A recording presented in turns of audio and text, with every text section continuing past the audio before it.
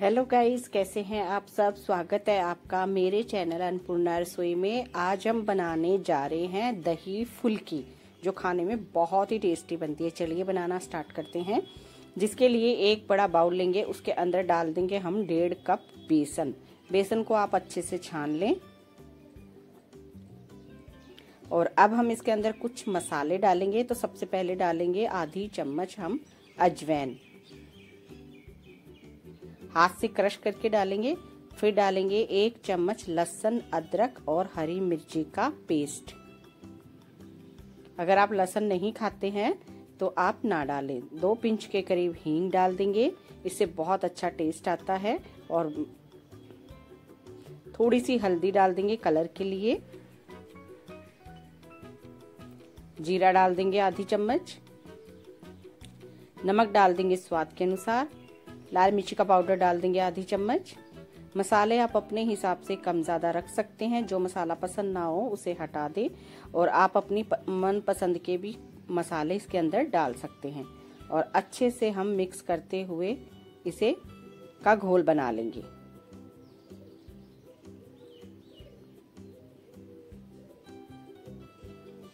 तो देखिए, इस तरह से हमें इसे अच्छे से मिक्स करते हुए घोल बना लेना है। और अब हम करेंगे विस्कर का यूज़ क्योंकि चम्मच से हो नहीं रहा है तो विस्कर की सहायता से हम इसका एक स्मूथ सा बैटर बनाकर तैयार करेंगे।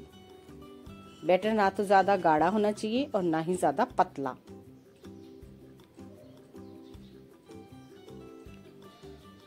तो देखिए, बिना बेकिंग पाउडर बिना बेकिंग सोडे के भी आप ये फुल्की बना सकते हैं।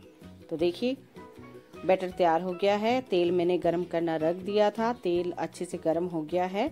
अब हम गैस का फ्लेम कर देंगे मीडियम और इसके अंदर हम थोड़ा सा बैटर डालकर देखेंगे कि फुल्की हमारी बनने के लिए तैयार है या नहीं।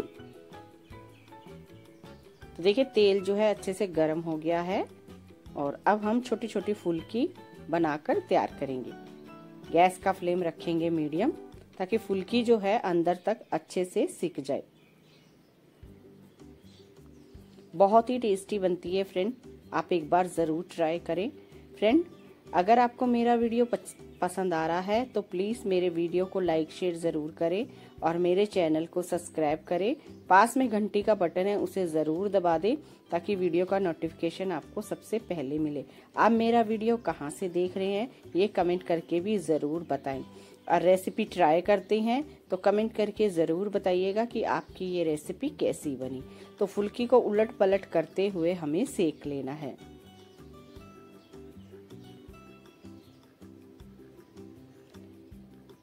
तो देखिए, जब फुल्की अच्छे से फ्राई हो जाए, तब हम इनको निकाल लेंगे। और सारी फुल्की हमें इसी तरह बनाकर तैयार कर लेनी है। तो देखिए, सभी फुल्की बना ली है, एक बड़ा बाउल लेंगे, उसके अंदर हम गुनगुना पानी डाल देंगे। ज़्यादा गर्म नहीं लेना है, हल्का गुनगुना लेना है और इसके अंदर सारी फुल्की डाल देंगे।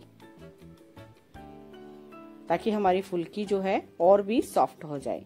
और अब हम दही लेंगे। मैंने एक बड़ा कटोरा दही लिया उसे हम अच्छे से फेंट लेंगे। एकदम स्मूथ कर लेना है हमें दही को। और दही हमें ज़्यादा गाढ़ा नहीं रखना है, नहीं तो फुल्की के अंदर जाएगा नहीं। बहुत ही टेस्टी फुल्की बनती है। ये बर्तन थोड़ा छोटा लग रहा है। हम दूसरे बाउल के अंदर दही को ट्रांसफ़र कर लेंगे। और अब हम इसके अंदर थोड़ा सा पानी डालकर इसे भी मिक्स कर लेंगे।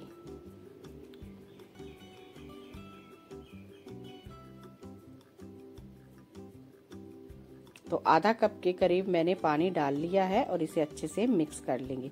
आप देख सकते हैं, दही जो है इस तरह का होना चाहिए। अभी भी दही मुझे थोड़ा सा गाढ़ा लग रहा है।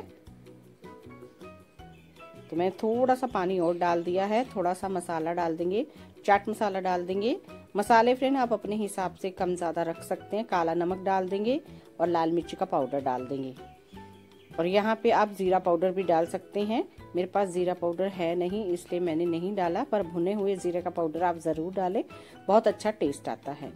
और अब मैंने कुछ हरा प्याज लिया है, एक हरी मिर्च ली है बारीक कटी, एक लाल प्याज लिया है बारह कट, बारीक कटा हुआ, और थोड़ा सा मैंने हरा धनिया लिया इन सबको डालकर इसे अच्छे से मिक्स कर लेंगे, और अब हम इसके अंदर डाल देंगे फुल्की। तो हाथों से थोड़ा सा इनका पानी निचोड़ ले।